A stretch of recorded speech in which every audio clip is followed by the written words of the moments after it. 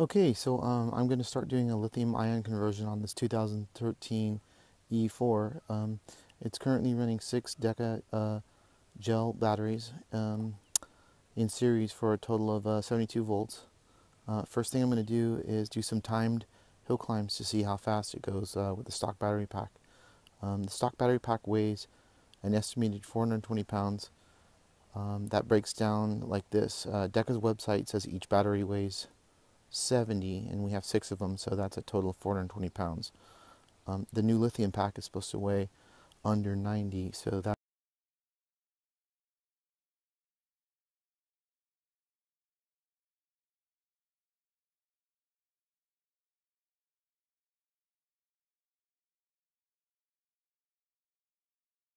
that's a net loss of uh, 330 pounds. And if you know anything about these cars, you realize that that's a lot of weight as far as performance goes. So um, we'll do some tests and see what kind of uh, um, numbers we get out of the hill climb. Okay, we're in the car. I'm going to try and do three things at once. Drive, film, and run the stopwatch. Um, I'm at the bottom of the hill and it's a uh, predetermined mark, so I'll know where to start the next time. And then I will stop the clock or note the time at um, different points on the hill. So let's get going here.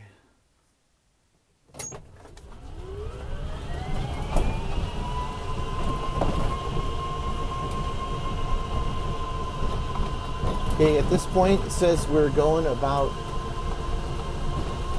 eight, um, around 16 miles an hour. We are 32 seconds in.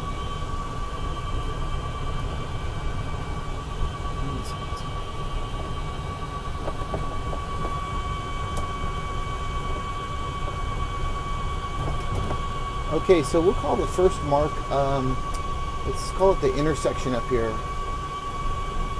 Uh, you can see the yellow for sale sign on the hill. So, an eye on the timer.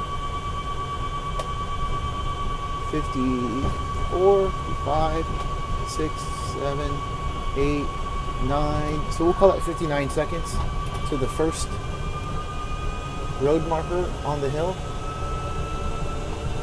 We're going 20 now. We're in a flat section of the road.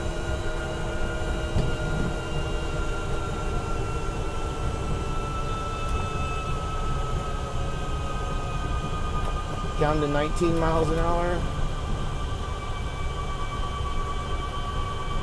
We'll call the second timer this one-way mark, and we're showing 129, 130, 132, let's call it.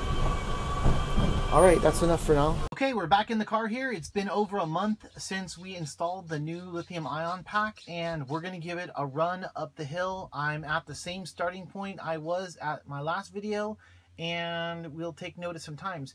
Uh, some things we're looking for, uh, 32 seconds, I believe, or sorry, 59 seconds at the first uh, intersection and 132 at the top intersection. Uh, our top speed was somewhere between 17 uh, and in the flats we were around 20. Um, if I do flash down at the at the display here and you see 10 miles an hour, that's because uh, my display speed is doubled. So if you see 10, you in reality we're going 20. So let's uh, let's get the show on the road here.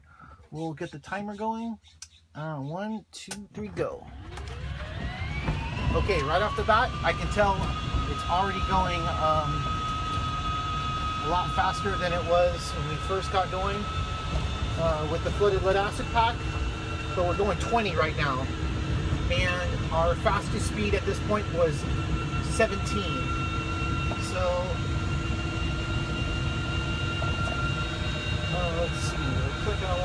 120 miles an hour up the hill. The speed and our time is 31 seconds in. Remember, we were 59 seconds on our last run with flooded lead acid batteries to this uh, point up here. And we're clicking out 45, 46, 47, 48 seconds. So that's 10 seconds faster at our first time check. We're going uh, 22 miles an hour right now. 23. Um, we're at 102. And we're going to use the one-way marker as our stop there. We were at 194, so we're at 114, 115. There we go. So that's about 17 seconds faster for that hill climb.